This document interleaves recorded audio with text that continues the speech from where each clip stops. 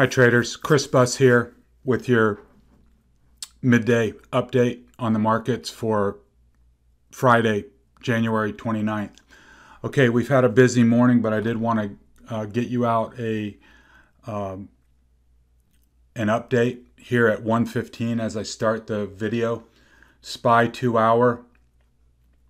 We got the breakdown that we were kind of anticipating. We filled this gap. We broke this key support at 373. And now we've penetrated this January 28th pre-market low that we had talked about at 370, which coincides with the 50 EMA. Um, now in the afternoon here, we're going to have to see if they save it right into the weekend, keep everybody guessing, park it right on the 50, uh, 50 EMA at 370, or if they take it down in here towards uh, 368. I would be surprised if it went any lower than that. Um, but who wants a piece of this market long into this weekend? That'll be the question. And we'll, we'll just have to see how that plays out. So I wouldn't be surprised if they they pop it back up to 370 and park it there. And I wouldn't be surprised either if there's more selling in the afternoon to bring it down in here to 368. Um, a lot of trading ops here today, guys. I hope you got some of this. I mean, each one of these levels is a place to sell. And once it lost this 374, then, you know, all hell broke loose. So we're down in here. Here's that 370 level. Um, I'll tell you how I'm trying to play this is to fade any bounces, but there really haven't been any bounces. So um, it's been an easy trade so far. Not a lot of, um, you know, scary bars to shake you out of the trade. If you did get a bounce up to 371 and you saw some weakness there, they may bring it back down. Um, but otherwise, just just stay with the trade. Q two hours uh, filled this gap, lost the channel, which is important on the two hour. So we're definitely on a sell signal here on the two hour. I will look over the weekend as far as a daily sell signal. I believe we are below trend now on the daily. Here you can see we've got a support layer at 312 and then uh, another gap here at 310. I, I mean, it's hard to say. There's been some intense selling. Hard to say, oh, they're going to stop here, they're going to stop there. But uh, there are gaps below that need to be filled, and it just depends on how many, you know, how many motivated sellers are there into the weekend. It's hard to tell. Here's the um, 30-minute view. You can see here was that January 28th pre-market low that we had in our crosshairs and that worked out perfectly. And you can see we're right here at this gap, and uh, we'll see if they can um, uh, stop it here. But a uh, lot of very objective sell locations along the way. And if you took those pre-market notes and had those levels marked, you had a lot of chances. IWM has not been that bad. Uh, as I mentioned in the uh, pre-market notes. I did take a short here on IWM at 207. I am in the February 5th uh, 206 puts. Uh, just to say I'm in it, I'm not in it big. Uh, like I said, this has been held up a little bit by all that GameStop crap, but I wanted to have a, a, a uh, anchor point here on those trades. Uh, and just for your information, I'm I'm in the futures on the Qs, so I've been trading that today. Here, um, so I am short on the QQQ. 30 minute chart, you see the breakdown starting to fall away now a little quicker. Facebook has been an absolute gravy train. I hope to God, if you were focused on this, that you got this. Been an easy trade, straight down, broke the levels that we were looking for filled the gap, lost 260, down here to 255. I can't say if it's going to stop here. Normally, I would say expect a bounce, but if it loses 255, it could be a freight train down here to 246. Uh, that seems a little bit ridiculous, but just play it, play it um, level by level. You know, if it loses 254, you don't have to imagine where it might go. All you need to know is that it broke an objective level and if you had gotten short anywhere up here, just stay short um, and see where it goes. Apple, again, lost all these key levels straight down. Now it's below 131. It's definitely a failed breakout. And uh, now we're back down in the soup. So I would imagine, you know, if they can't hold it here at 131, you're looking at 128.50 is your next level of support. Tesla. I took a trade on this as we discussed in the morning uh, note on the break of this 800 at the bottom of the box. I got an 800 725 put spread for next Friday. Uh, just one, not going to go crazy.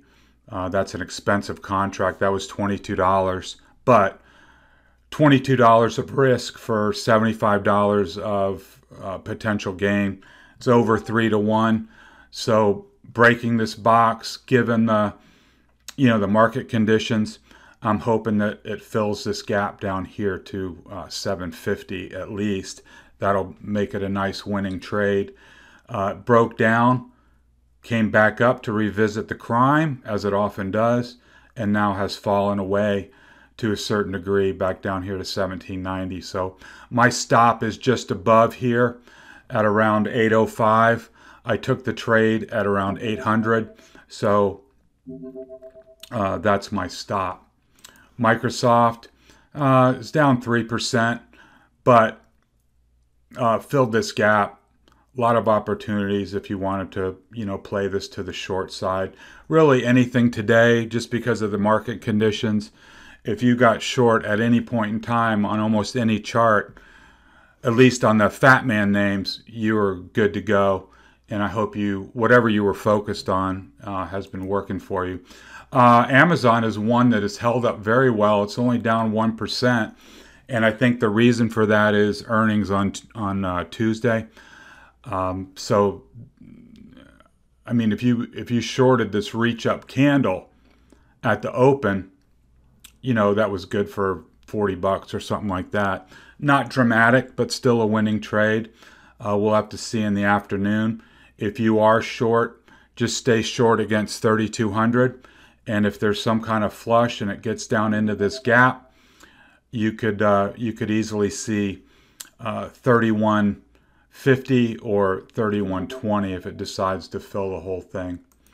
Uh, Google, uh, it's down two and a half percent. Uh, it has earnings as well next week. I don't know if that's why it's holding up a little bit better, but uh, if you'd gotten short, you know, up here, you still have a nice winning trade um, for the rest of the day. I think down here to 1800 will be a test. I would imagine that would hold. Netflix, uh, again, not bad. I mean, down a percent. So it's sitting here on the top of this gap. If it gets gnarly this afternoon, I would look for 530 to go ahead and fill down here another five or six bucks. Um, again, you still had a winning trade, but most of the action has been in Apple and uh, Facebook and uh, to a certain extent uh, Tesla and um, uh, Microsoft. Uh, really quick update, guys. I don't mean to, to rush through, but I've gotten a, lo- a lot of nice compliments, DMs, uh, little notes along the way today. You know, how well the levels have been working. And um, it just, it's a testament to being ready for anything, having your levels ready, having your little crib sheet of notes um, handy and uh, and being ready to pull the trigger on the on the instruments that you like to trade or that you're you know ready and interested to trade, and then um, uh, the market does what it's going to do, and then you react from there. But today, it's been an easy trade. I mean, like I said, there haven't been a lot of whipsaw candles to shake you out. So hopefully, you're finding it uh, some productive trading, some easy trading. Uh, stay. Uh, you know, stay short until there's a reason to get out. Um, I will tell you, I closed some of my longs, the uh, GW Pharma, the Jamia, um, some of the other names. I just didn't see a point of, you know, hanging in those longs and, you know, just taking the pain and taking away from these short positions. Um, you know, as they go down, of course, your longs are going down too. So, uh, we can re-enter those once the market stabilizes. I, I don't think this is over. I think things have been overcooked for a while. So I wouldn't be surprised if there was some follow-on selling on Monday. Because remember what they say, bad selling never ends on a Friday. I wouldn't be surprised if there was some flush move um, Monday you know, once mom and pop and everybody over the weekend figures out that you know, stocks don't always go up. There may be some follow on selling on Monday. So I'm not telling you to load up short heading into the weekend, but you may want to, you know, leave leave yourself some runners on your positions. I would at the end of the day, I would roll down, you know, to even money on your strikes Take that money off the table. Whatever you were able to garner today, take that money off the table. Uh, leave yourself some runners at the money for next week in the instruments that you're trading, and then you'll have a marker. If there's some kind of flush move on Monday, you'll be in it to win it. If they, you know, hold the line, no harm done, right?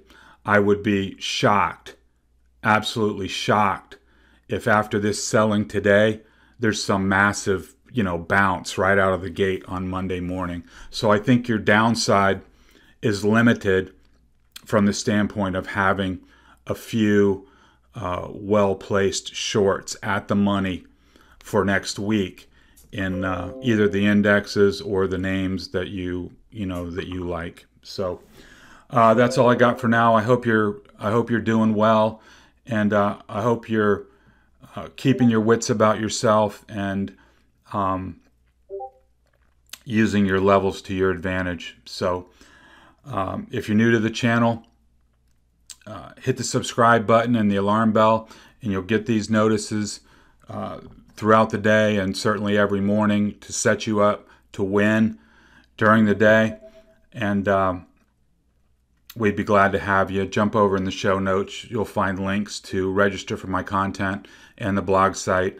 Uh, we'd love to have you join, and uh, I'll send you an invite link to the Traders Room. Uh, where we've got a lot of aspiring traders all pulling in the right direction, helping each other. Uh, it's been nice in there today. People finding you know setups and and keeping each other on their toes with uh, with uh, observations in the market. It's it's been great. So we'd love to have you. So until we talk next time, have a good rest of your trading day. Keep rolling down. Keep uh, keep taking that money to the bank. And if there's some big, you know, ripping bounce into the close, you'll already have your money in the bank and you won't get clipped too bad. So uh, keep that at the top of the top of your mind and. Be ready for the rest of the day. Thanks. This has been Chris Buss with Traders Profit Compass. Talk to you next time.